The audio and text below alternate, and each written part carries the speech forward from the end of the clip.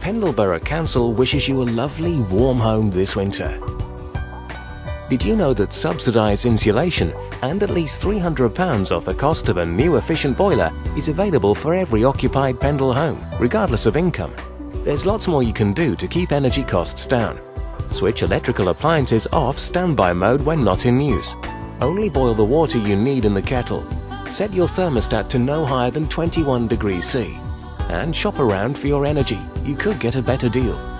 For more information, contact our Home Energy Advisor on 01282 661 026 or 661 007 or email your name, address and telephone number to energy at pendle.gov.uk.